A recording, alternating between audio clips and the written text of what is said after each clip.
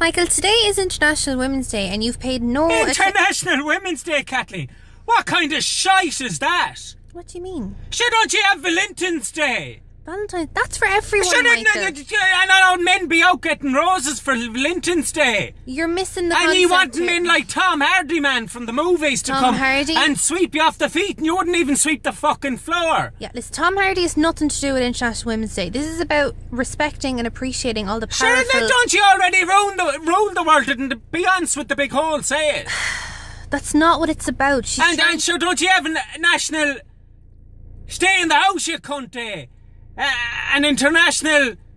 Shut up. To fuck. That's only in Day. our household. That's only in our household. Michael, this is about appreciating all the powerful and wonderful women who have contributed to society. Sure, they're not one of them, Kathleen. There are so many. go, Kathleen, to shite ye. A shower of cunts. Get you one day.